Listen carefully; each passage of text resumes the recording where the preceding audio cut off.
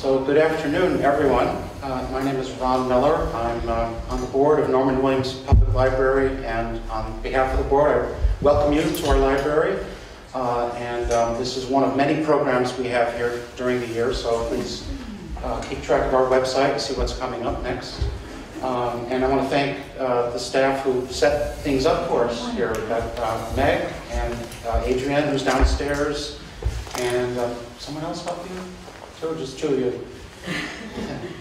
I, I don't know, there's Whoever always said a group effort. group effort, but uh, we appreciate the, all the work the staff does. Um, I'm also the uh, coordinator of the Learning Lab. And this is a program sponsored by the Learning Lab. In, in case you haven't heard of us, and I think still 80% of Woodstock area still hasn't never heard of us. Um, we are an adult learning program, lifelong learning program. We have uh, courses most of the year except the summer. Um, this program um, is something we do occasionally to have a, a free public event. Uh, but if you are not on our mailing list and would like to learn more about what we're doing, uh, go to our website. Uh, it's thelearninglabwoodstock.com, uh, or just come and see me after the program today. Um, but thank you for coming. It's a gorgeous spring day outside, so I'm, I'm amazed that anyone showed up. But um, it's going to be a great program. We had a, a great start last week. Uh, with uh, Anne Galloway from Vermont Digger. And then next week, uh, Phil Camp from our own Vermont Standard will be um, speaking. So please come back um, again, even if it's nice weather again. Uh, so I'm going to bring up uh, John Matthews, who's on the board of the Learning Lab, um, who's going to introduce our speaker today, Maggie. So, um, John, it's all yours.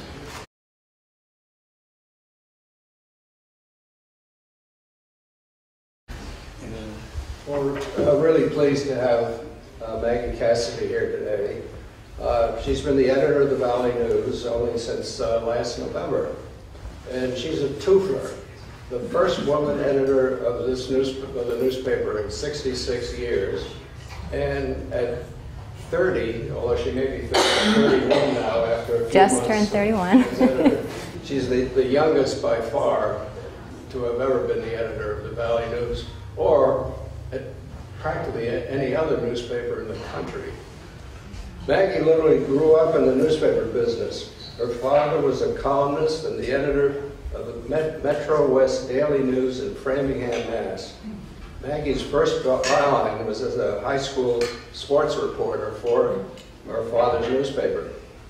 She went to Northeastern University, where she interned at the Boston Globe.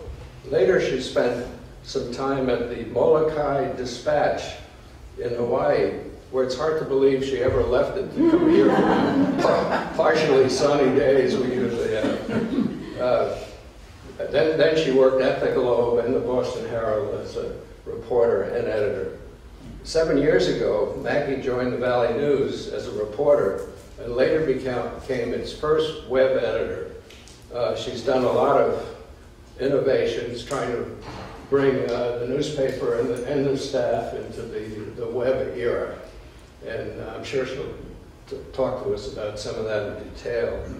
Like Anne Galloway, who was our speaker last week, described how, how she created a new news source on the internet, the Vermont Digger. Maggie will tell us how she's moving an old news source, a newspaper, into the digital age. So Maggie, it's all yours.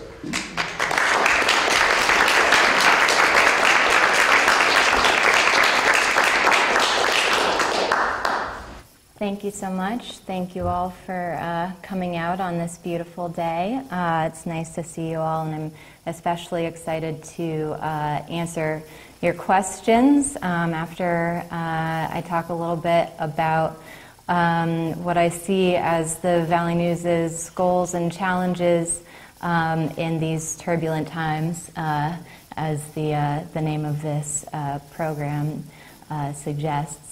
Uh, when I mentioned to uh, a friend who is uh, mostly retired from the journalism business that I would be talking about journalism in turbulent times, uh, his reaction was, When have they not been turbulent?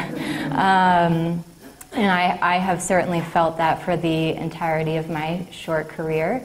Um, as uh, John mentioned, I did largely grow up uh, scooting around the floor of a newspaper. Uh, when my dad was an editor uh, at the Metro West Daily News, which was formerly the Middlesex News in uh, Framingham, Mass.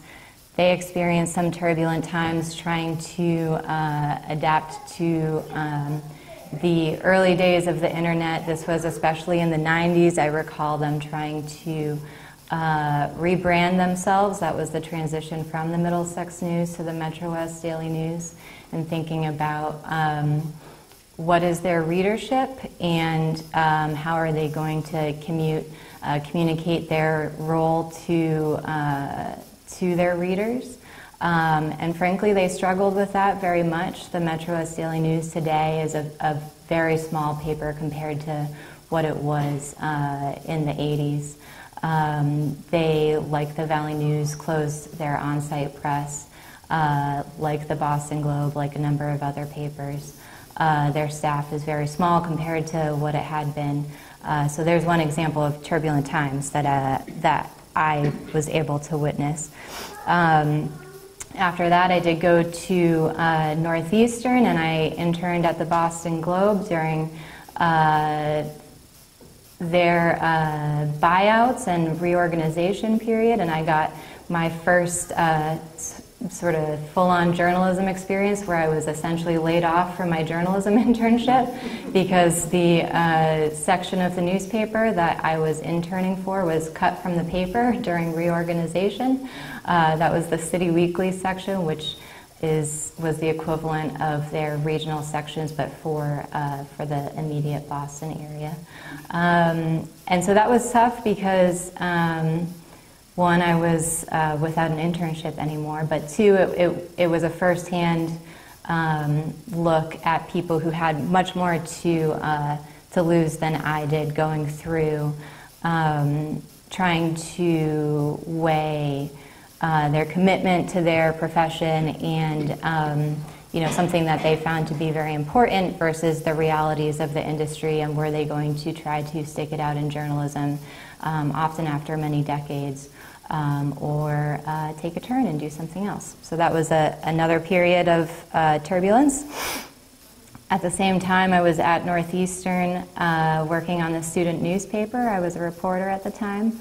Uh, and the university was uh, displeased with some of the reporting that we were doing about the, the school at the time, and we're threatening prior review, which is to say uh, they wanted to be able to look at our articles before they were published um, because uh, they thought they should perhaps be a little softer. Um, and so uh, we moved the newspaper off campus and started a nonprofit in order to publish it. So at once giving up uh, campus funding for student groups and increasing our expenses with rent, and we timed it perfectly for the financial collapse uh, and, got, and got it all together right in time for uh, all of our advertisers to uh, stop advertising with us. Um, we had a really hard time uh, literally keeping on the lights. Um, we had to cut back on production and make really difficult decisions um, about um, just what the heck we were going to do, and it, it, was, it was extremely trying. Uh, that newspaper uh, just this past year, so that was after 10 years, um, through fundraising and uh, other efforts, got out of the debt that we essentially created for it um, when we when we tried to move it off campus. Still off campus, the nonprofit is still there, um, but it just it it is an illustration, I think, of um, the difficulties of uh, making a go of it here at all levels. Um, and the last example I'll give you, so I did live in Molokai. On Molokai, a very, very small island in Hawaii, I was one of um, four people who worked at the Molokai Dispatch. We took out the trash, we delivered the newspapers, uh, we, uh, we did everything. Uh, I was technically an intern, although I was the only reporter, so uh, however you want to see that. Um, and I was trying to decide whether to um, stick around in beautiful Molokai with uh, 80 degree weather and uh, beautiful white sand beaches. And uh, the owner of the paper asked if we could kindly hold off on cashing our checks uh, for, for a couple more days or weeks. Uh, and that's how I ended up back in Vermont in January. Um, so it, uh, there has, I, I suppose this is all just to say that um, I have been doing this for a relatively short time, uh, but I have not seen a period of non-turbulence uh, in my career. Um, that said, I think, of course, the obvious difference between um, the turbulence that my dad felt um, any turbulence uh, in terms of uh, you know issues of prior review at uh, student newspapers and how those um, issues um, you know uh, similar issues you know off campuses pushback from uh, sources uh, difficulty um, getting information that is rightfully the public's etc. All of all of those um, forms of turbulence are not uh, new. What is, of course, new now is um, the ways in which turbulence are affecting newspapers who are no longer making it out to the other side. Um, so Anne Galloway, um, I was glad to be able to see Anne talk last week, and she uh, covered a lot of this ground, so I, I don't want to uh, rehash it um, too much, but um, the numbers are very stark in terms of uh, the closures of uh, papers across this country um, over the past 15 years. Um, something like 1,800 papers in the country have folded since 2004. Uh, a third of those are rural newspapers. Um, and I'm sure that we're all familiar with the term news deserts which uh, are uh, geographic areas or communities uh, that no longer have a dedicated news source um, and therefore are going without not only news but without um, an organization dedicated to uh, uh, holding institutions accountable and being a watchdog for uh, um, various sources of power. Um, so I think that is the, the defining distinction between the good old regular turbulence and the, the turbulence that we face today. Um, and the question, of course, is how do we get through it? Um, which is a question that I'm not sure anybody has quite figured out the answer to um, as of yet, but everybody is working on. Um, and talked about uh, the next recession and um, uh, predictions about how many local newspapers are going to make it through the next recession. Uh, and the predictions are that very few will make it through the next recession. Um, that's something that I think about quite a bit. Um, and so the goal is between now and then, whenever then may be, because it's going to happen, um, how can we set ourselves up to weather the next storm? Some of that is through what we're doing uh, in the newsroom, through journalism, um, but a lot of it, frankly, is um, outside the scope of the newsroom and how we, as you know, a, a building and a company, uh, the specific newspaper and uh, our parent company, Newspapers of New England, how we're going to uh, to set us up to weather that storm. So um, I will talk a little bit about my thoughts about all of that. Um, first, I wanted to do a little bit of numbers because folks seemed very interested in uh, Digger numbers last week, so I thought I would talk about some Valley News numbers and how they've changed, which will also help to paint this picture for us. So the print circulation of the Valley News um, right now is something like 12,000 papers. Uh, we're currently uh, in the process of being audited. Um, for, uh, for comparison, that's about 6,000 fewer papers than in 1995 when uh, our, our peak circulation was uh, in the realm of 18 or 19,000. We have a thousand digital only subscribers, uh, a little more than a thousand. Um, that number increased by about uh, 350 uh, over the course of 2018 to a total of a little more than a thousand. our digital trends. So uh, we've had no problem getting people to go to the website. The problem has been getting people to pay for it, and I'll get to that in a bit. But uh, in January 2015, uh, we had 800,000 page views. Uh, in January of this year, we had 1.7 million page views. Uh, neither of those are anomalies that, that should, that's a pretty uh, fair trajectory from uh, uh essentially increasing an, by an average of, um, our monthly average page views have increased by about a million in the course of uh, four years.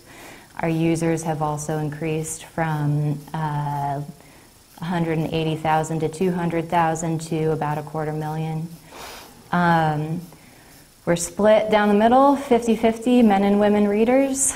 Um, and uh, our uh, numbers in terms of uh, young readers are, I think, promising. So, um, uh, more than a quarter, excuse me, almost half of our readers are uh, under the age of 44. That includes 7% who are ages 18 to 24, um, and a quarter who are uh, 25 to 34. Um, readers who are uh, 55 and older are about 20% of our readers online. Don't know about print. I don't have those breakdowns. And in terms of staff, the numbers in terms of staff, which also helps to illustrate uh, some of where we're at. When I joined the paper in January 2012, we had about 30 staff members. Uh, right now we have 21. So that's a, that's a huge decline, obviously. Um, and it's one that um, I don't think we really recognize in the newsroom or readers really recognize in the community until we tally it up. We don't feel it in the newsroom because all of those losses have come through attrition, so it's been a very slow um, you know, somebody leaves and they don't get replaced, and slowly things start to shrink, and you don't feel it as much as if uh, there was a round of layoffs or um, if all of those uh, those losses had hit at once. But obviously, that's a that's a pretty stark departure from 30 to 21. That doesn't include um, that's only full time staff. That doesn't include uh, you know correspondents who work regular regularly with us, um, and it doesn't include part-time staff, um, but it's an apples-to-apples number. So, um, in thinking about um, how do we uh, get through the digital age, the two pieces that we're playing with, of course, are the print edition and the website. And how do we um, use both of those tools to uh, to um, to make it out the other end, essentially, and to serve our readers. Um, and so I thought I'd talk a little bit about how I view uh, both the print edition and the website and their roles in my mind um, in serving our readers, in keeping readers, and in getting new readers. Um, there's a lot of talk about what is the role of print these days. Is print going to stick around? Uh, print is expensive. Um, digital is the future, et cetera, et cetera. I still love print. Um, I think that print does a lot of things that uh, digital simply cannot. Um, and there is uh, something to be said for having a physical presence in a community um, that uh, digital just uh, cannot do. So to have copies of the Valley News lying around uh, your coffee shop, your library, uh, seeing people reading them. I love seeing people reading copies of the paper. Um, that's, that's, that's something that uh, I think folks forget about from time to time. Um, print is also our core audience. Um, they're our most loyal audience. They're our best paying readership. Uh, they're the most engaged. Um, the Valley News is best uh, consumed, which is to say, you are going to get the most out of the Valley News if you read it every day and you read most of it. You don't have to read every single article. Um, but uh, in terms of context for our stories and context for issues, um, if you're going in and out one article at a time, um, you will get something from that experience. um, but it's not going to be the same experience as uh, we could only print. Uh, you know, a short brief on this issue today because we already covered it with a much longer story last week. Um, so if you only go online and see that short, short little uh, uh, brief, you're not going to get the same experience uh, as had you uh, been engaged the whole time. Um, there's also there was a little bit of discussion last week about reading broadly and reading deeply with print. Um, and I, I am uh, a believer that uh, you read differently in print. Um, there's, if anybody cares to look it up afterward, it is online. But uh, there is a um, researcher named Maryanne Wolf um, who wrote a, a, column for The Guardian about the different ways that our brain uh, absorbs information in print versus digital. Um, the concept of there-ness, so to have something that you're holding and to be able to refer back to it and to think of it as a physical thing, your brain uh, processes that differently as compared to digital, where things are flashing and scrolling. And uh, for me, I can get very distracted easily. Um, you, that's something that uh, that uh, that print can do. That that digital, I think. We're going to have to figure out, which is another thing that I will touch on briefly at the end. Um, print in terms of um, world nation news, uh, news beyond the Upper Valley. Um, that is something that I am thinking about uh, on a daily basis um, because what print obviously cannot do, which our website can do, is uh, break news as it's happening. Um, and so my my question that I weigh almost every day is um, big news happened on the world stage or nationally. Uh, how many of our readers already found out about it because they got an alert on their phone? How many of our readers did not? Um, and uh, how do we accommodate both of them? Um, one of one of the things that uh, I think that print can do um, in terms of that equation is uh, thinking about an analysis or um, you know a much broader look at an issue. Again the sort of deep reading long reading that you might not be as inclined to do online.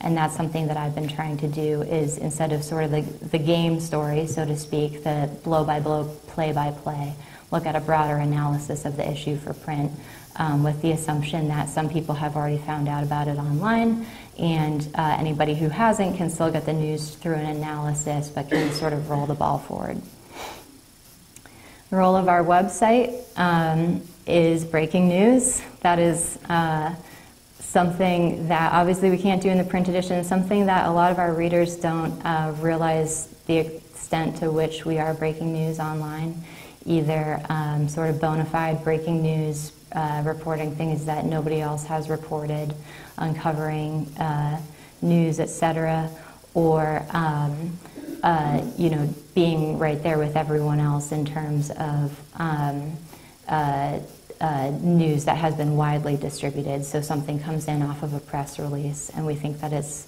valuable enough to be read now.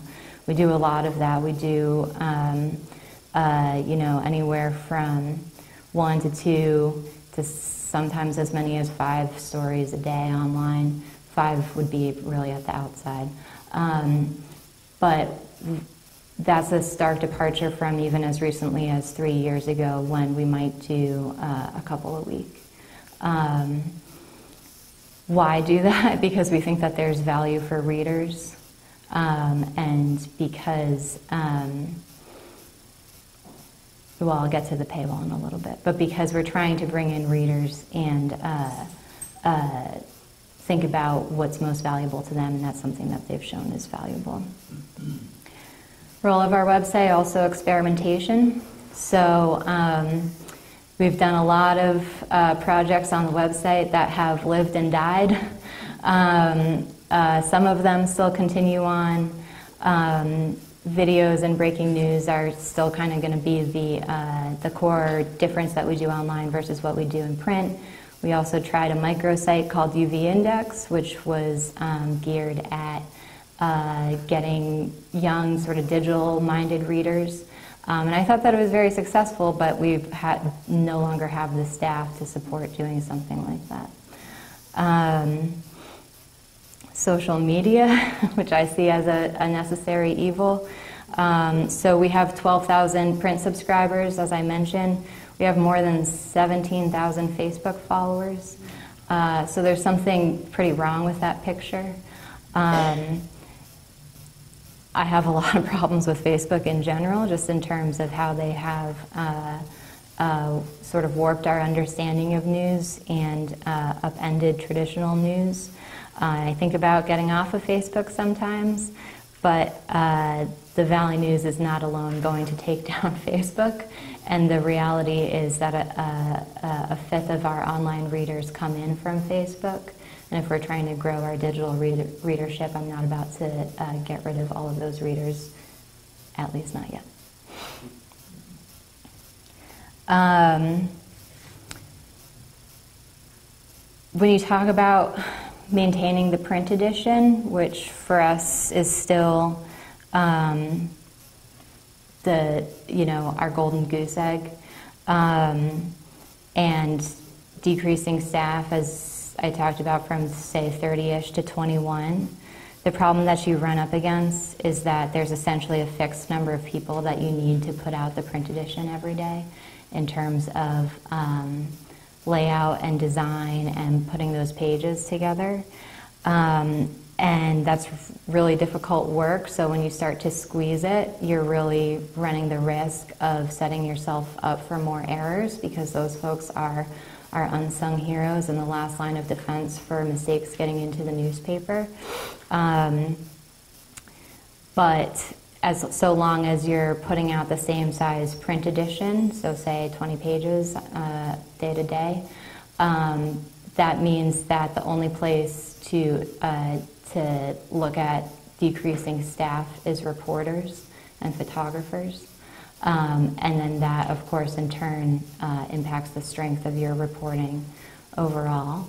So, um, so that's another thing that I think about just in terms of uh, print versus digital. Print is always going to need that core layout staff and um, are there ways to uh, to rethink that, or what is the role of the daily print edition? Does it need to be the same size every day um, in order to free up more reporting staff? So, um, some broad challenges. I think I've probably mostly been talking about challenges at this point. Um, but very broadly, we have um, way more ways to report stories than we did seven years ago. We have video, we have podcasts, we do both of those. Um, we have interactive graphics, we do some of that. Uh, we have breaking news, which puts a real different kind of strain on the newsroom than one daily deadline uh, to essentially have a constant rolling deadline. Um, there are a lot of ways to, to do news these days, and we have a lot fewer people to do it.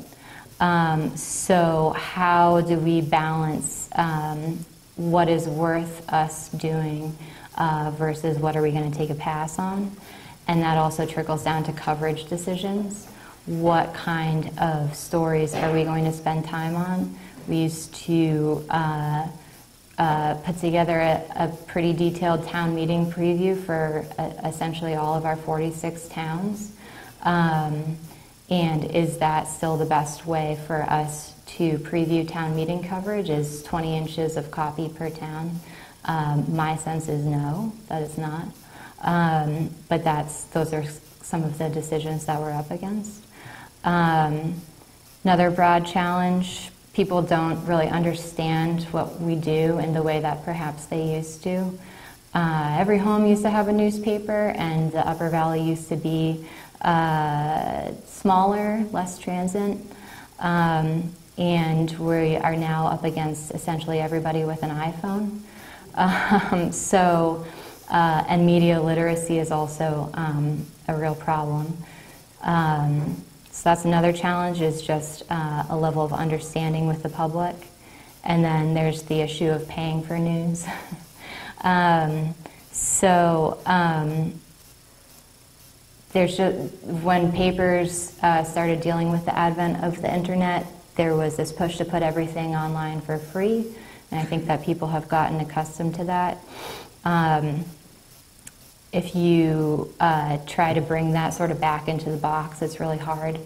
Um, but what I've been trying to do is to talk to people about paying for news, and it's been surprising to me how um, how receptive people are to, uh, to to thinking about issues like how is their news funded, what kind of resources does news take if you just start the conversation.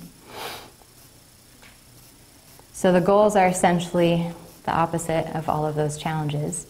Um, in terms of um, coverage decisions and um, how to decide what to do with uh, which new ways of storytelling are we going to pursue with a smaller staff. Uh, the Valley News has never had a mission statement, has never sort of, um, in my time at least, thought broadly about what do we want to be doing because the goal has always been pretty clear, which is to produce good journalism. Um, that's still broadly the mission. But uh, when we have fewer resources, uh, I think we need to define that better. So I'm working with uh, the staff right now who are very engaged in this process and also um, hearing from readers. Hopefully, you might share some thoughts um, about what we want our role to be uh, over the next five years, the next 10 years. Um, what is going to be our measuring stick for how do we decide which new um, kinds of storytelling methods are we going to pursue and which ones um, are not worth our time or effort? Um, and also, what kind of coverage decisions are we going to make? So, um, when I say I don't think that we need to spend, uh, uh, report a 20 inch story on um, every uh, one of our 46 towns as a preview for a town meeting. That doesn't mean that I don't think that town meeting is important or deserves uh, preview coverage, but are there, are there other ways to do that more simply? Um, are, we've experimented with charts online, uh, with uh, um, uh, graphics and things of that nature um, and trying to broaden out how we tell stories besides just uh, written text. Um, that goes for select board meetings, um, uh, just about anything that we do. Um, if the Lebanon City Council is um, having a meeting about streetlights, which we have grappled with, um, uh, do we go to that meeting and write a story about that one meeting, or do we go to that meeting and pull thread and say, how do we regionalize this issue and make it into something broader um, and tie our towns together in that way? So, are other towns dealing with this issue? Um, how does it fit into bigger initiatives in Lebanon? Uh, things like that. It's still something that we're working on.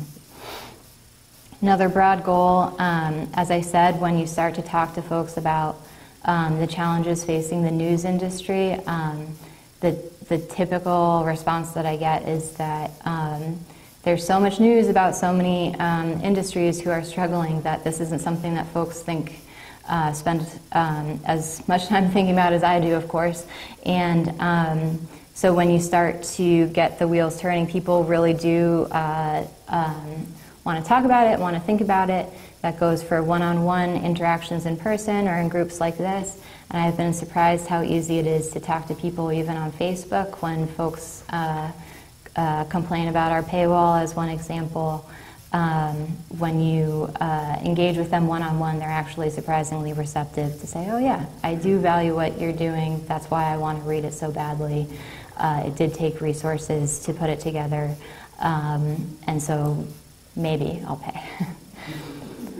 Um, so engagement um, is is another broad goal. Um, um, there's a lot to be said for online engagement. Um, that's something that the industry has talked about quite a bit. That uh, websites and um, the digital space is a place for reader engagement, but I'm also trying to translate that into uh, real world face to face engagement as well. Um,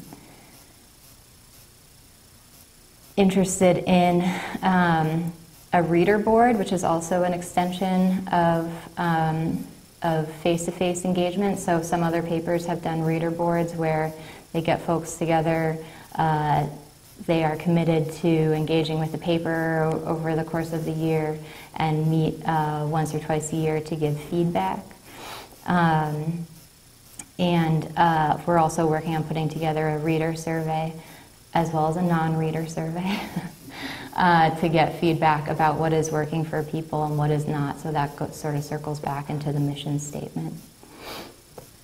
More broadly than that, um, as I mentioned, I think the key is going to be um, bridging the gap over the course of the next recession.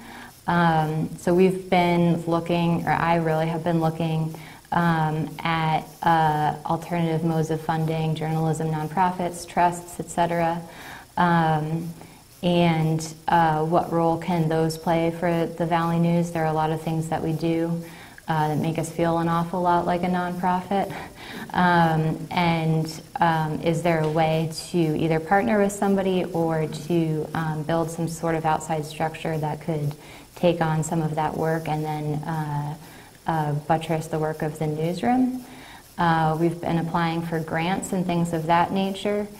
Um, one of my great frustration with grants is that the conversation around local news is most often talking about something that is a world away from what we're doing. Um, it's talking about the Boston Globe, the Sacramento Bee, um, papers that uh, are much, much bigger than ours. The division for grants is generally um, papers in cities that are uh, smaller than the top 10 biggest cities in the United States, or papers with coverage areas of less than 1 million people. We very much qualify for both of those uh, uh, um, numbers, and so that puts us competing for a very small number of grants uh, against papers like the Globe, and it makes it it makes it really hard. Um, I also wonder about, you know, Anne was talking last week about uh, the nonprofit news model. If we were to take every paper that has folded in the past 10 or 15 years and made them a nonprofit, we would uh, start to get back in the same uh, boat, which is there's um, just not enough money to go around. And so, how would we deal with that? Um, and then the last thing I'll talk about, I'm sorry, I'm afraid I've talked too long, but I'm interested in hearing your questions, is um, uh, we talked a little bit last week about um, um, print and digital and uh, reading uh, in print and reading digital, um, which I mentioned earlier with the um, the there-ness of having a print edition. Um, I think one thing that newspapers really need to figure out to make it to, to this next, uh, uh, the sort of next iteration of digital news telling is, uh, is website design and layout and functionality, which is very small for a newspaper of our size to uh, figure that out on our own. We're uh, working with vendors to do that. But I've rarely, if ever, seen a, um, a newspaper website design that really works for me. Um, I think the closest is probably the New York Times, and they have a huge team of people who are constantly uh, modifying that, um, making it very specialized, um, et cetera. But for a, a newsroom of the Valley News' size, we really need a lot of automation built into our website because we don't have the staff to be or the skill set to be modifying our website in that way. Um, and then there's also uh, a hardware issue I see. Um, so, how people read digital news. We recently surpassed a monthly average of more than 50% of our digital readers are reading us on their phones as opposed to a laptop or a desktop. Um, and that's certainly not a place for deep, uh, engaged reading. Um, and then on the other hand, desktops are, are pretty big and clunky.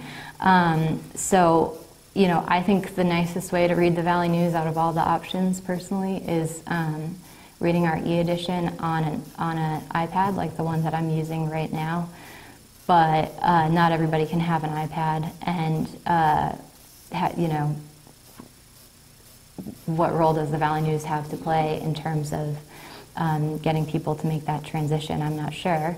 I just noticed that technology for for news is kind of being pushed in the opposite direction, uh, which is to say, shorter bursts of news. Um, what I'm talking about specifically is Alexa. When I went um, home to the Massachusetts suburbs for the holidays, um, everybody had an Alexa. Um, and Alexa just gives you kind of headlines about the news and um, uh, a very short version.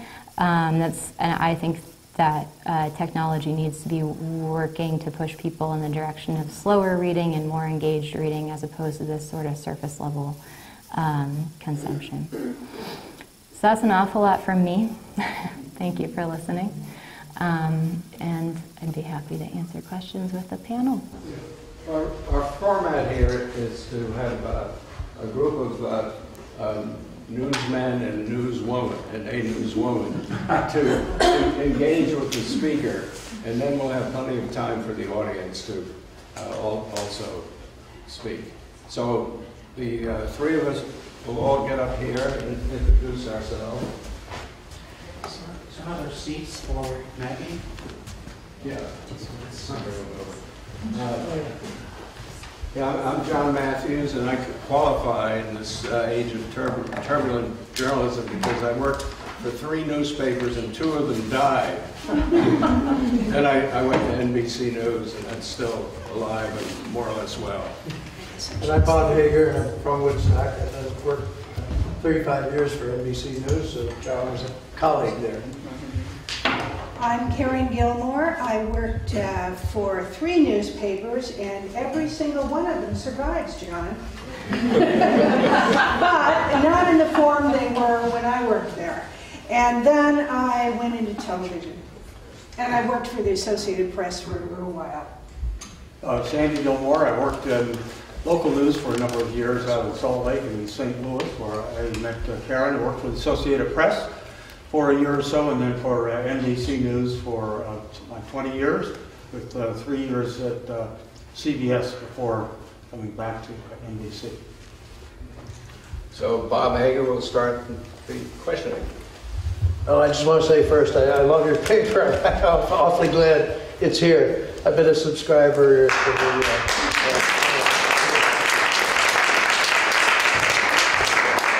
Columnists are great, in my opinion. Kenyon and uh, Mackie and uh, John Gregg. Uh, so, uh, and then uh, when I was a kid here, uh, I was a freshman in high school when the Valley News started. So anyway, key thing, if, if the future is thought to be in the digital, um, does it pay for itself? I mean, can, can you make money on the web? I hope so. Um, that I mean, I think that that is. Um, I I I think that in order for us to get through uh, the next big challenge, um, we are going to need more people paying for digital than they are now. Um, and I do think that at some point we are going to have to find some way for digital to support itself. So whether that is through subscriptions, um, I think that's going to have to be a, a big part of it. But whether, you know, as I said, there are, um, there's another way for, um, for people to support us beyond a subscription, I think that that's going to have to play a part too.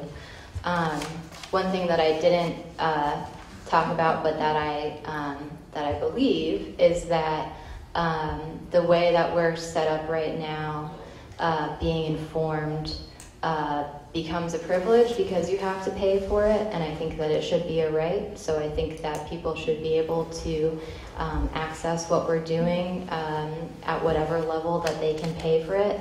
But first, we need to be sustainable before we start um, having those bigger conversations. Um, uh, and so, you know, is it something like tiered subscriptions where you um, pay more than a standard subscription for extra features? Um, that has been suggested uh, to me and that has been done throughout the industry. Um, I'm not sure what we can do with the resources that we have that could be an extra right now that would frankly be worth paying for. Um, uh, I do think that there are is a population of readers in the Upper Valley who understands what we do and supports what we do and want to be able to support us through some other means. What about just at this moment? Does it pay for itself yet? Uh, no. But you gotta be there, but it doesn't pay for itself. Right, so um, we have a thousand digital only subscribers, so that's certainly not enough to support a newsroom even of 21 people. Um, all of our print subscribers are also digital subscribers, uh, just by way of what they're they're getting for what they pay for.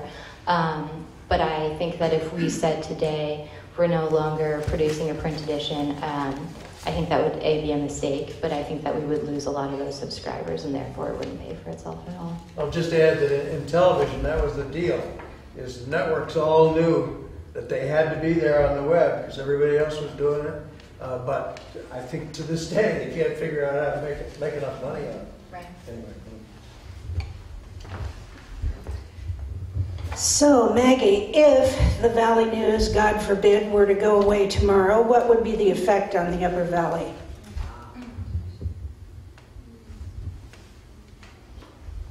Um, I'm glad you asked because it's often something that I forget to talk about. Maybe it's because I don't want it to happen.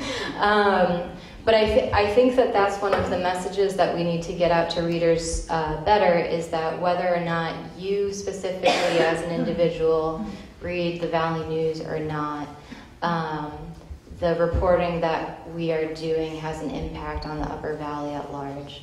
Um, and so, you know, I think the Valley News does a number of things. Uh, I think by having um, uh, uh, our paper reporting um, on the towns that we do, I think that we're able to knit together the Upper Valley at large. Um, so, uh, folks in uh, Royalton are uh, aware of what's happening in Newport, New Hampshire, and it kind of binds us all together. Um, as I said, I think that uh, one of the things that we have historically done well, and I think that um, we could continue to try to do is to regionalize issues. Um, so if we're not able to cover um, uh, the nitty gritty um, in the same way, um, can we give the broader overview of what's happening in this region? So that's one thing is sort of knitting together this region and defining it as a region. Um, and uh, two is um, holding uh, institutions uh, accountable, or at least you know shedding light on what they're doing. So especially um, the biggies like uh, DHMC and Dartmouth College.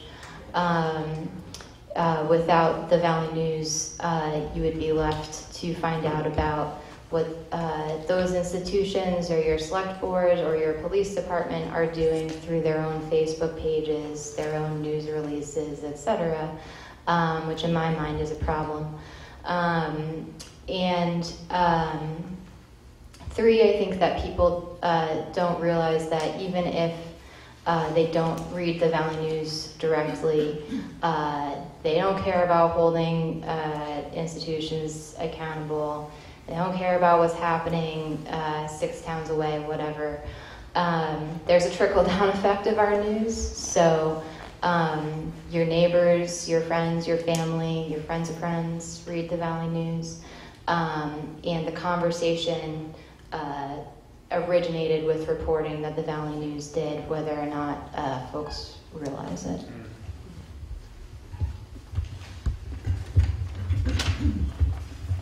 Can you move over here?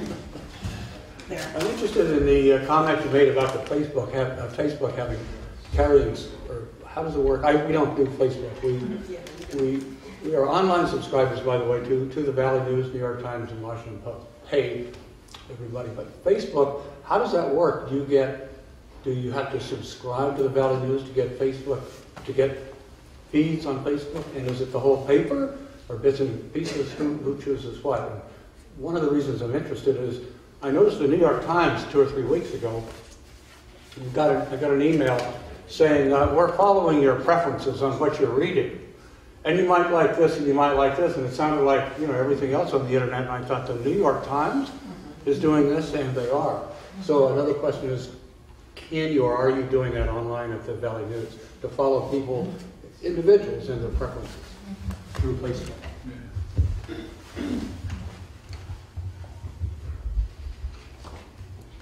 Um, so um, we essentially launched our Facebook. um I think it's been around for a while, but it was dormant, and uh, all of those 17,000 uh, people followed us within the past four or five years.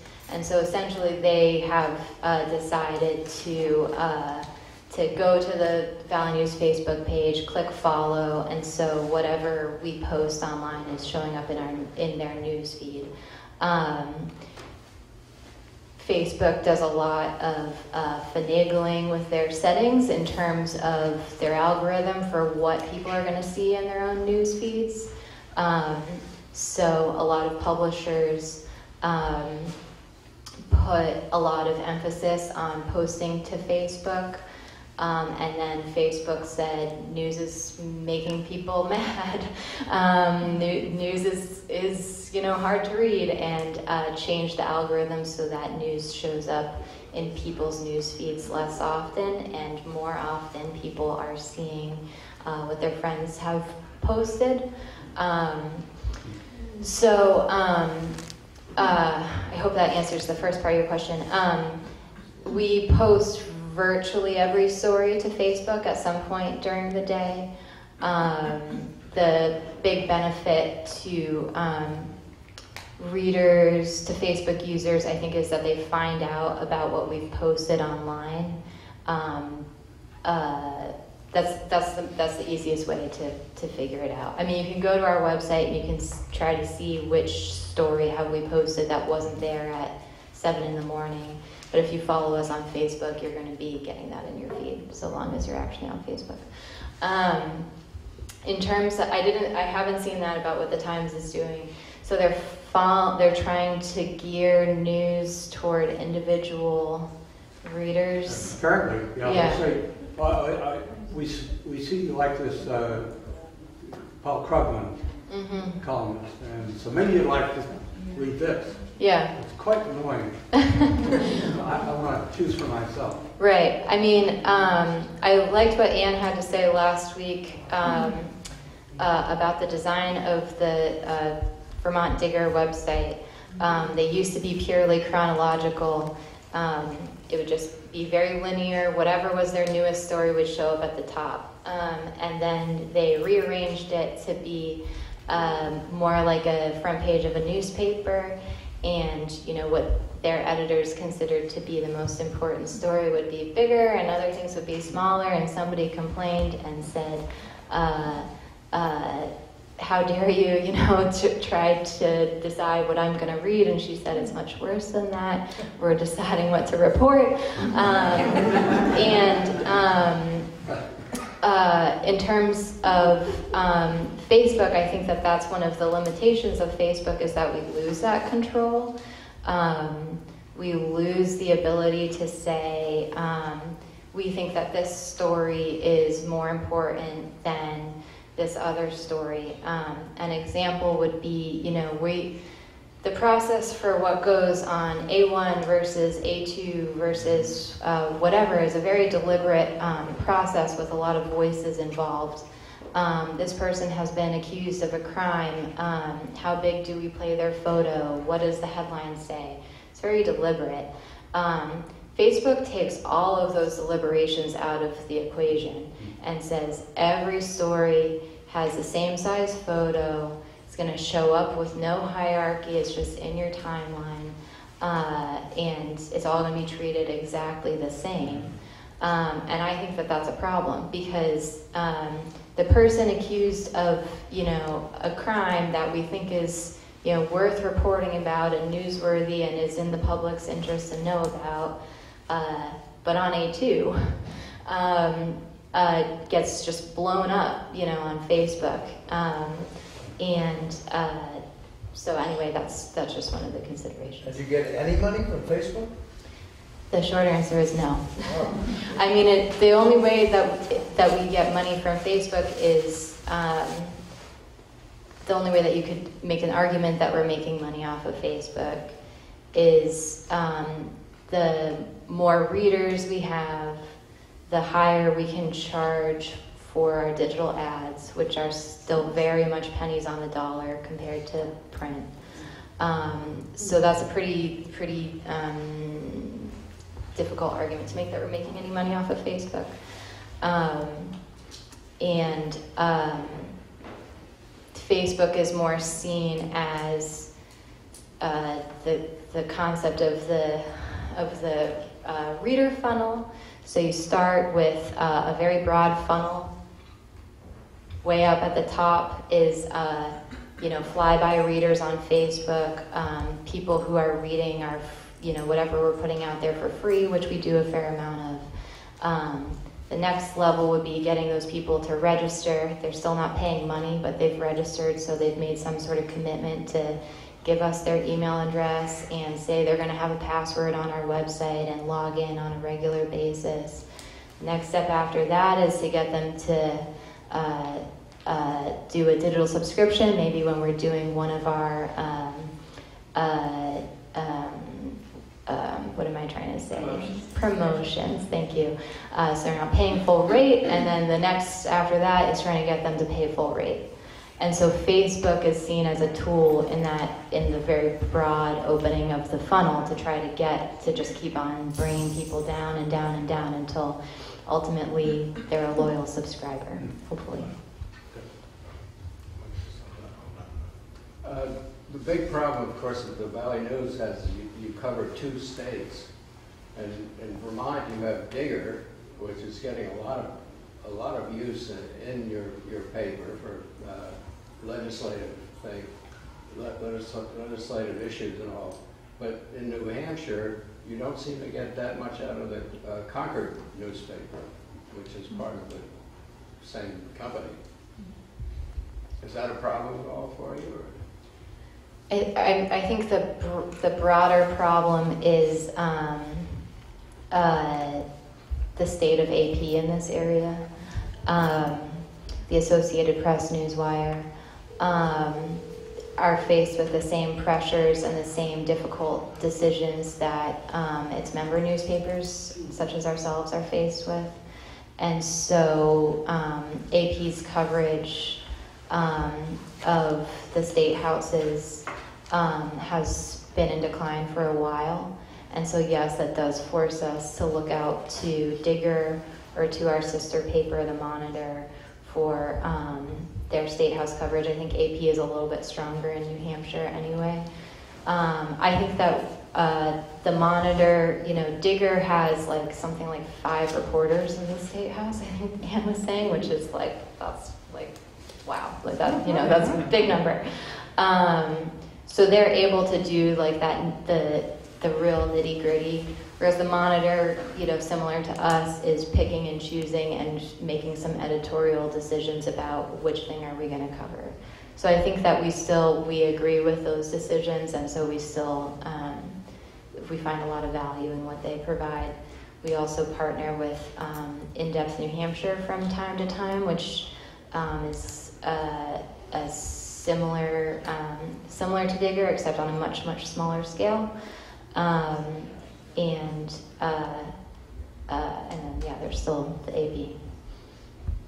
Your staff is 21, did you say that? Uh, correct. So Yeah. in terms of full time So staff. how many of those are reporters? Devote their, most of their day to reporting? Sure. Um, in terms of news reporters, um, it is about five people. Um, we have a cops and courts reporter, we have a business reporter, uh, we have a Lebanon reporter, um, and a healthcare reporter. Um, and then we have one more person who's like a who's not full time staff, but who writes very very regularly. Uh, and then we also have uh, Jim Kenyon, who um, uh, his columns are very reported. So I, I, I include him in, in that number. And they're very good, by the way. Yeah, I agree. Um, and then we have um, one reporter who's like a features news split, uh, one more features reporter, and two sports reporters. And photographer? We have two full-time staff photographers, one uh, photo editor who often shoots. I think he's probably the last photo editor in northern New England. Um, and uh, we have had a full-time photo internship that has been um, very sought after from um, all corners of the country, but it's unlikely that we're going to be able to maintain that uh, for the second half of this year, although we hope we might be able to bring it back. Um, I'm just curious, I think I probably should take the mic because I don't project as well as some people. Um, I'm just curious, how many people read the Valley News and how many people read it online? If, or both? Does anybody, okay, we're the only two who read it online, Peggy, okay, Charlie, okay, good. We read Um, the standard, we read the standard too. so. Yeah, and, and online as well as print. But anyway, um, Maggie, I'm just wondering what you think the Valley News will look like in 10 years, and not what you want it to look like, but what you think it will look like.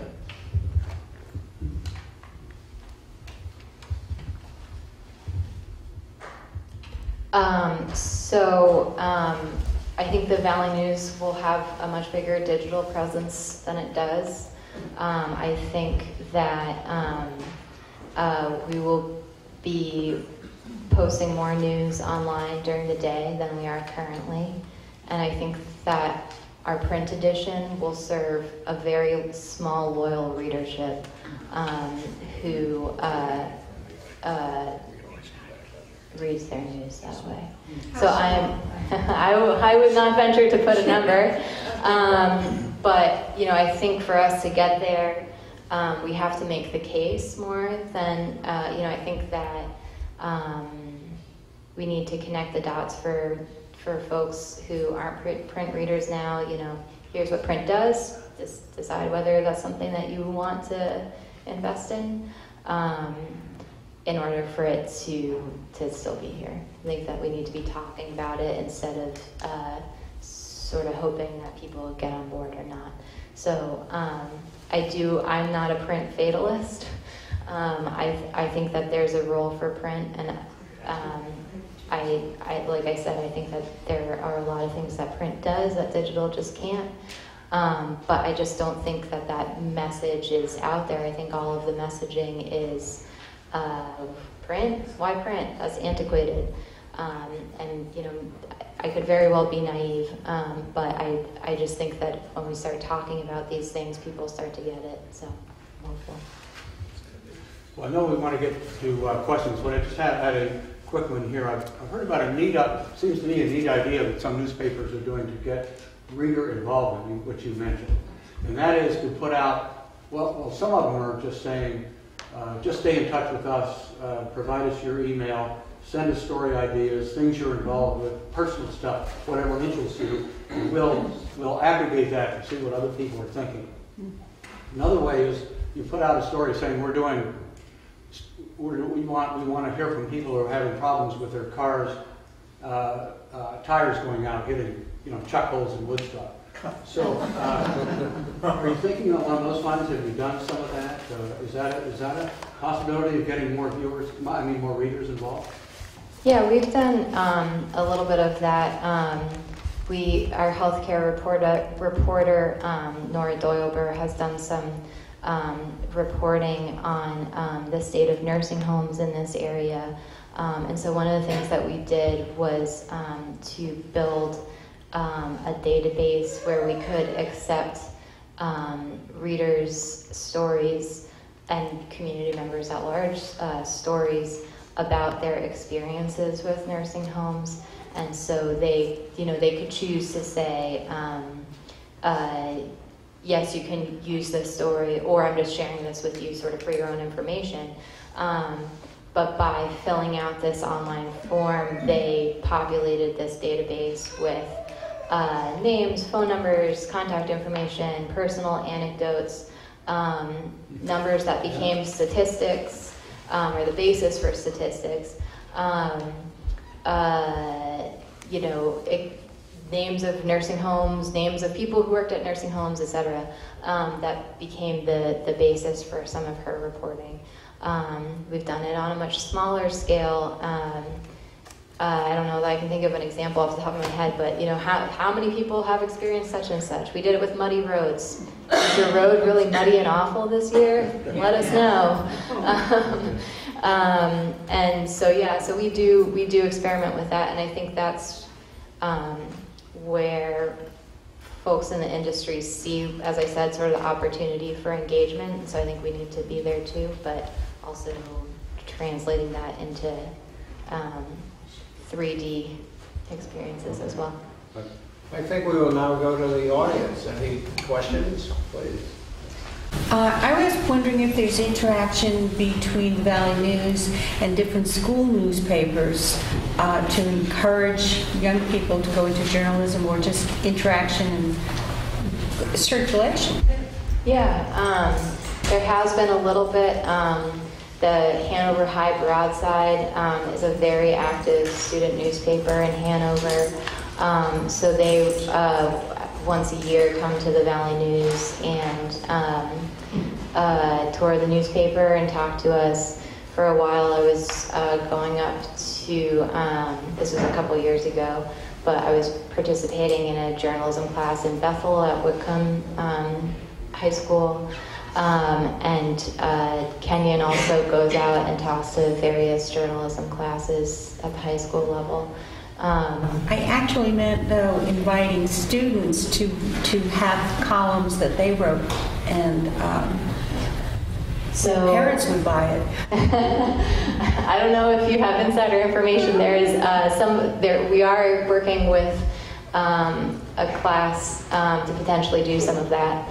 Um, it's it is hard um, with uh, students. Um, we've tried it before, and I think we've seen what the challenges are and what we need to be aware of.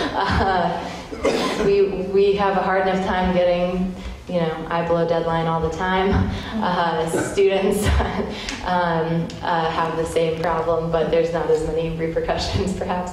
Um, so, anyway, I think, yes, there's probably opportunity for that, and I think we've learned some lessons along the way about how to do it better. Just a comment, really.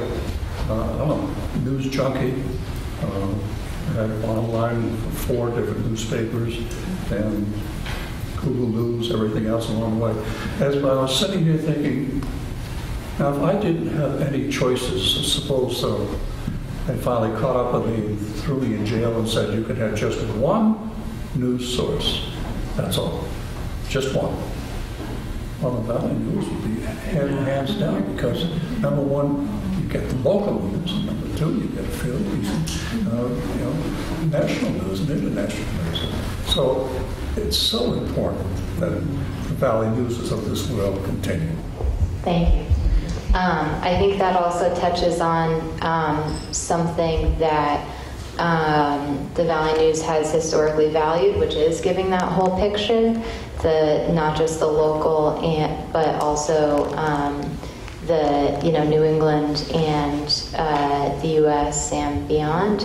Um, there's a lot of push to go more local. Um, uh, and it's something that I've been weighing. So talking about like the analysis versus the sort of blow by blow news, and how much of that world nation goes out front versus how much of it is inside.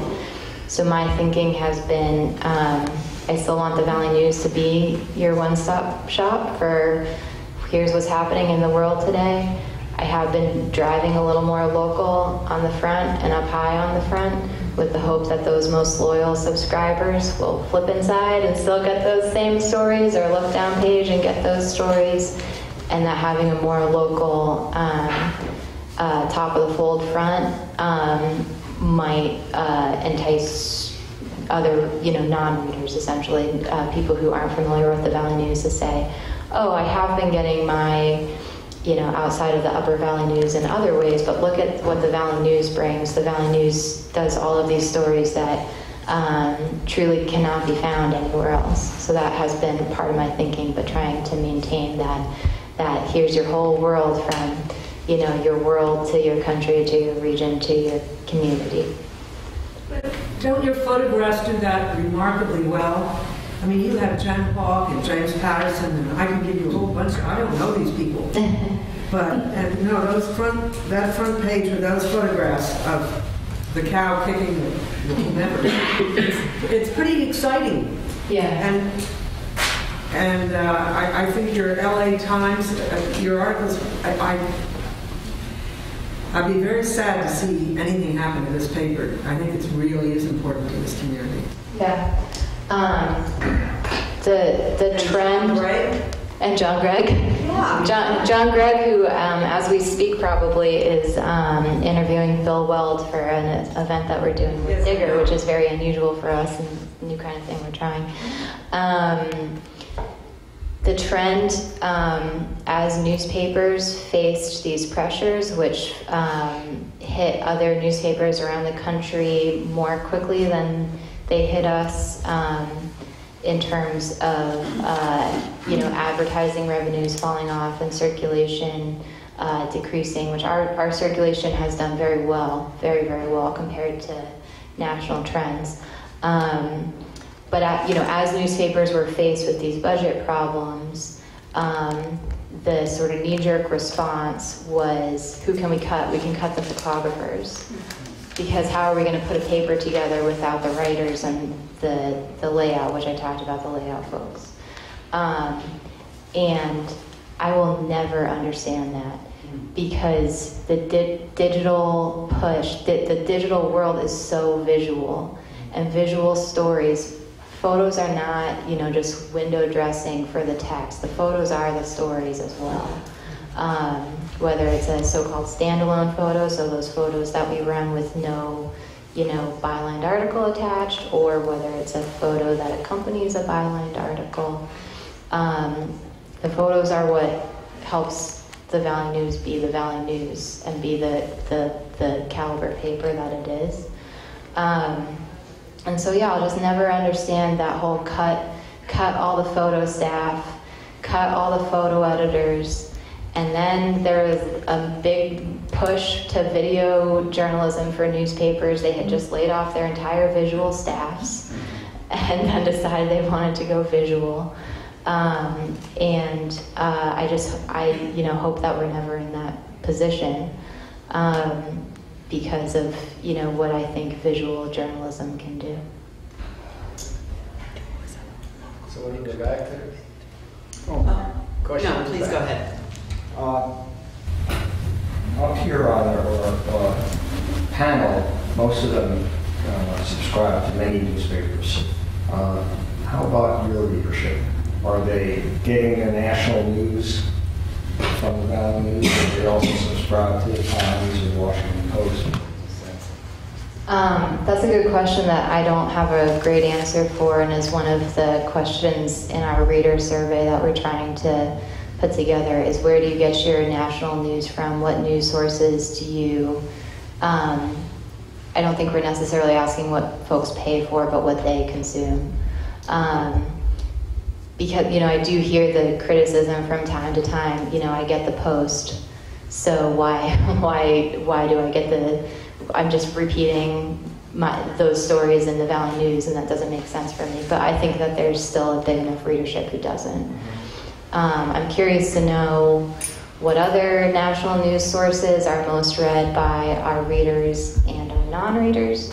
Um, and I'm also very curious to know what folks would say when you ask them where they get their local news if the answer is not the Valley News. Um, so um, there are, of course, a number of other um, sources, but I, I just wonder what the breakdown is going to be. I'm very curious. One thing that's good about your national and international news is that the big out-of-town papers that we can get here, New York Times, Boston Globe, uh, the deadline is a lot earlier, so you get later national or international news out of the Valley News, thank goodness. Yeah. Unless you look online. Yeah. Yeah, right, no, online would be, Except for the Red Sox scores. Right, so, um, pretty incumbent, right? So that, yeah, so I mean, I'll be honest, that's been very, very difficult. Um, the, um, so our, our last page deadline, so the, the, the, the time at which we needed to send our last page to the press, uh, was previously midnight, and it was a little bit of a mushy midnight.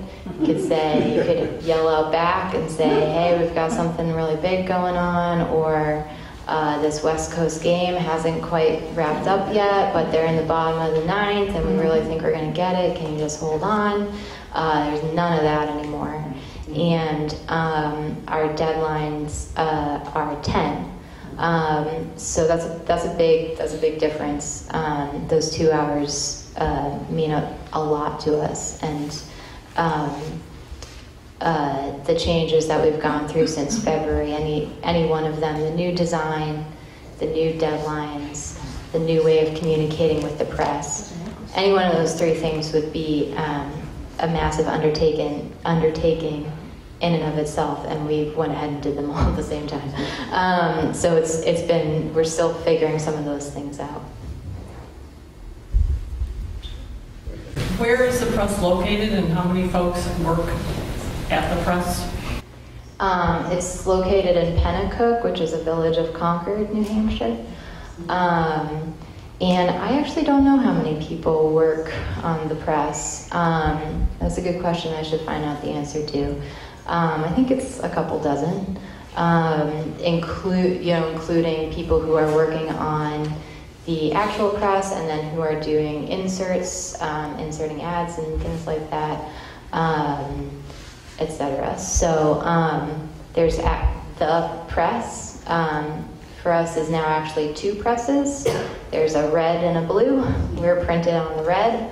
Um, and that includes us, the Concord Monitor, which is our sister paper, um, uh, and a number of our other um, uh, sister papers and products. And then the blue press uh, prints the Union Leader, um, another a number of other commercial product, products. Maggie, uh, this is uh, sort of the elephant or the donkey in the room. What about the political stance of a newspaper? Are you in favor of its being seen as neutral, or do you think it serves you well to be seen as favoring one or the other side, liberal or conservative? Uh, uh, I would say the former. Um, to be to be seen as generally neutral, particularly in our reporting. Um, our opinion pages, of course, are another uh, bag. Um, but I think one of the things that we can do a better job at, um, which I, I don't mean to repeat myself, but to be talking about what we're doing and explaining what we're doing because I think that um, this sort of uh, um, understanding of how a newspaper works and the vocabulary of what goes into a newspaper, so an op-ed, an editorial, um, uh, an analysis versus a straight reported piece, etc., um, I think are not as clear to the um, average reader as they were, I don't know many years ago, when people were regularly reading papers more. So, talking about that distinction between the newsroom being um, unbiased and uh, uh, neutral, and then the opinion pages um, having a really strong point of view um, and trying to re- represent a number of points of view um, is something I think that we could do a better job at. Well, it seems to me that the Times, which is sort of the touchstone for many of us for the national newspaper, has for many years been thought of as a liberal newspaper with conservative writers. Uh, it doesn't seem to have hurt them, they, but that's their ability to have that profile. Do you think you could have a profile as either one, as either presenting the, the more the conservative point of view or more the liberal point of view? You don't think you'd survive? I don't know about the question of survival, but the question of, you know, what, what service, how would that serve our readers or how would that serve our reporting? Um, I think is the, the first question. Um, and I, I, you know, I, um, I'm of the mindset that everybody brings a little bit of bias to the table, but you ha- it's in terms of um, understanding what your biases are and um, acknowledging them and uh, sort of leaning into them, then you're able to uh, understand what they are and make sure that they're not influencing your reporting. Um, I, I'm still, maybe it's old school, but I, I still am of the mindset that we should be presenting ourselves and trying to achieve, you know, as unbiased a newsroom reporting as possible. You know, if, if we knew the vision of the newspaper, like uh, we're telling the story of our community, and then the mission would be how do we do that? I doubt in any of the sentences of that mission you would say we need to be a print medium. Uh, because if we are telling the story, we can tell it in many different ways. Uh, I am someone old enough to love the tactile movement, kinesthetic movement of a paper, to feel it and to get black and think, because I grew up in New York City with the New York Times all over my face on a hot day. Uh, so there's nothing special about that. But the bottom line is digital. I get the New York Times for three and a half dollars a week on my cell phone and also, of course, on my computer. There's nothing richer than that because it, you can hook up to other articles and, and videos and things of that sort in a moment. Um, and so I, I think that it may be the time when we have to realize where's the where's the break point here. If we need to move to digital to survive, uh, once you're printing less copies, it doesn't it, you can't you can't survive that way. And then you have to figure out what are you giving up. But if your if your vision is to tell the story of the community, then that's it. That is what makes you go chills up and down your spine every time. So how do we best tell the story rather than we've gone out of business, we can't tell the story at all. I don't think it's about paper. I think it's about the story. And I think that if you believe in that, you will continue to do whatever you can to publish in quotes uh, the Valley News every single day. Uh, and I, I, I understand the idea of it would be nice to see people in country stores opening up the paper. I get it, but that's a Norman Rockwell piece of thing. Uh, bookstores are having the same problems. And uh, if, the, if the, the biggest issue is to tell the story, we have to find the story. We have to find a way of telling the story, no matter what we're, we're doing. You know, just just some thoughts there. Yeah, no, I mean, I hear, I understand what you're saying, and I, um, I agree to a certain extent. I think beyond telling the story, um, it's also uh, uh, developing more of a two-way street. So um, the idea of telling the story um, is, um, uh, you know, us at the Valley News coming up with what the story is, and then putting it in one direction, you know, out to the readers. Um, and what uh, folks have talked about with digital, you know, as I've said, is that the whole idea of digital engagement and making it more of a two-way street.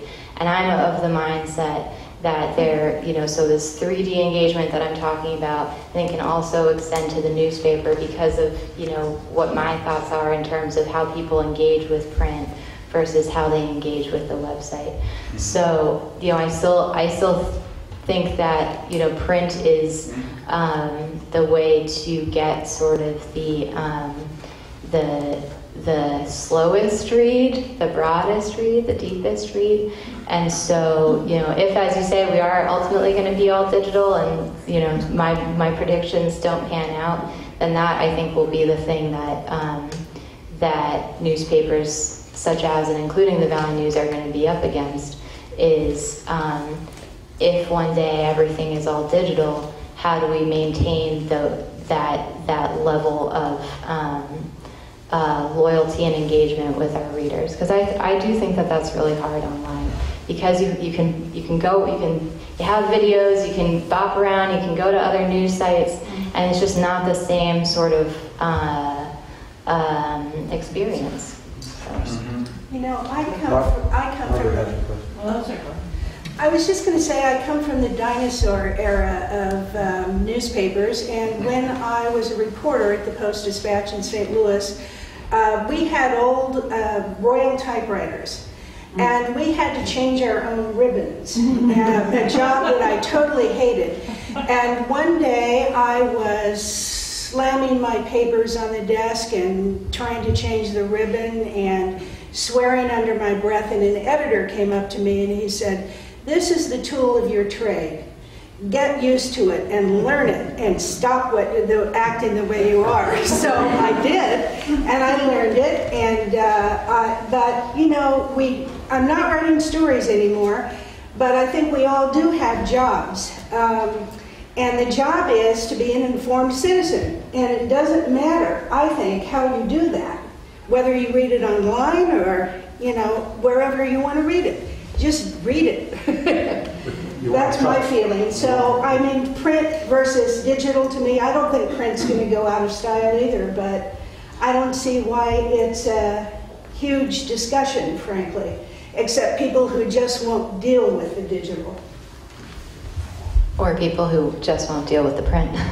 Yeah, So- where, which I've had both, yeah. I remember, uh, I guess back in the 50s and 60s, my father always watching Walter Cronkite after supper and then reading the newspaper. That was the tradition. That's what happened. I think it happened in many houses. Uh, there was that set period. Uh, does that exist anymore?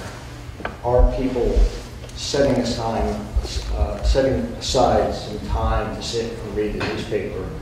Or are they using the digital format, reading an article or a few articles when they're waiting for the dentist or getting their car fixed or, or whatever it is?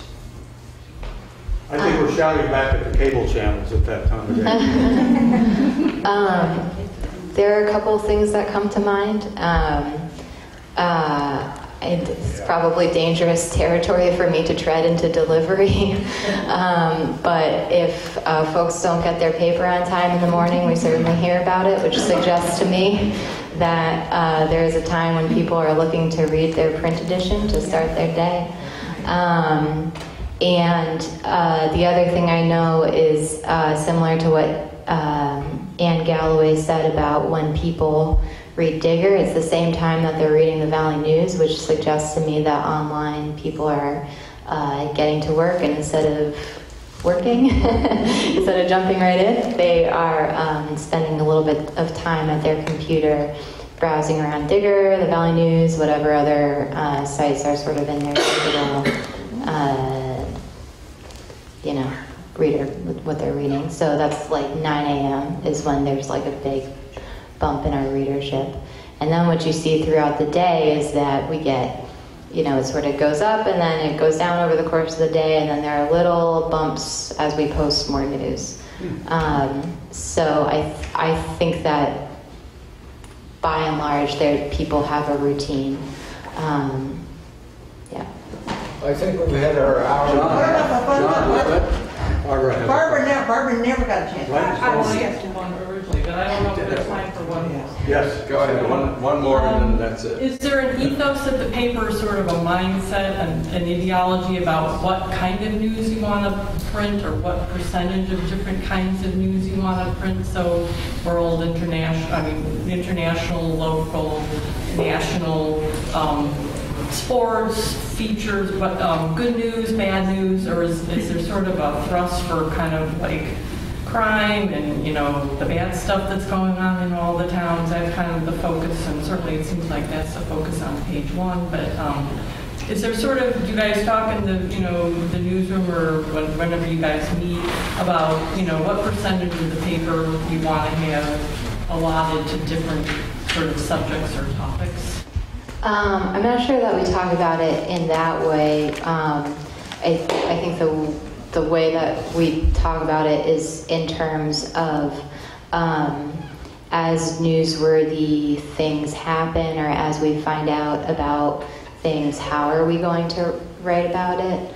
Um, so going back to the examples of um, uh, going to a select board meeting and writing a daily story or um, trying to broaden it out and write about it um, in a more regional way or from a, a broader look.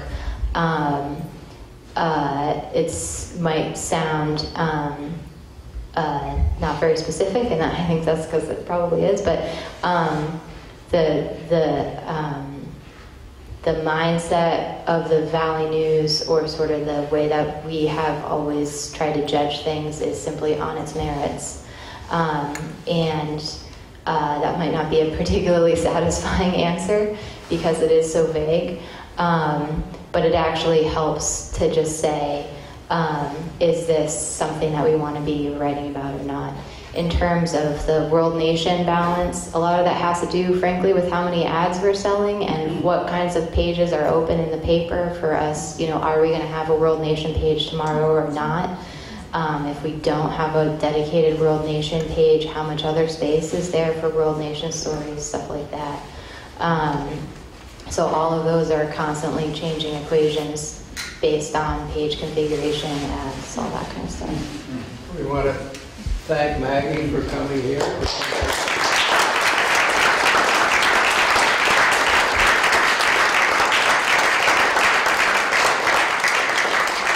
Thank you for all coming next week, Phil Camp, same place, same station. Hope to see you here. And thanks so much for coming.